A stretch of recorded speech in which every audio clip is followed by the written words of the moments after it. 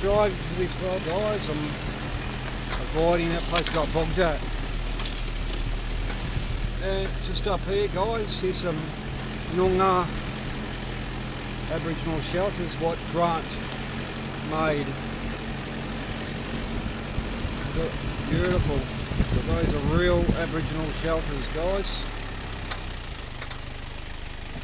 That is amazing.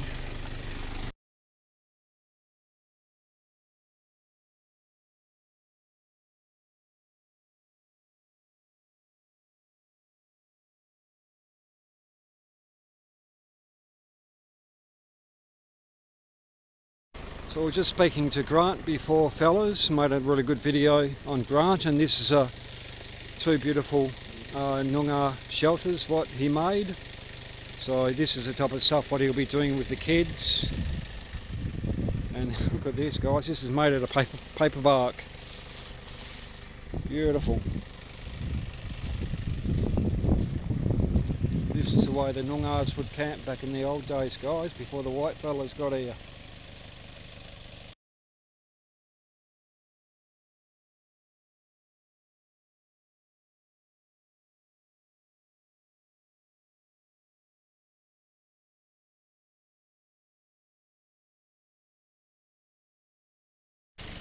So this one here fellas is made out of um, probably she oak, she oak or um, casuarina. And this one here is made out of beautiful paper bark. So this is the paper bark guys I talk about sometimes. So you, this just peels straight off a tree.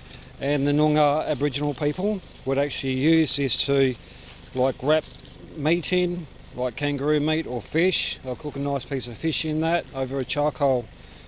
So I'm going to grab this nice piece, Grant won't mind, and we'll take that home and we'll do up a nice fish dish I reckon with that one. So stay tuned fellows, I'm also going to be doing heaps of um, campfire cooking this winter. Winter starts in another um, couple of months but as of the next week or so I'm allowed to um, have a campfire in my backyard or have a um, you know do burning off in my backyard. So we'll be definitely doing heaps of uh, cooking especially and mainly uh, cast iron um, cast iron pan cooking. I love cast iron pans fellas. You can use cook any type of dish with those. So yeah so stay tuned fellas. We'll make something nice using this beautiful piece of paper bark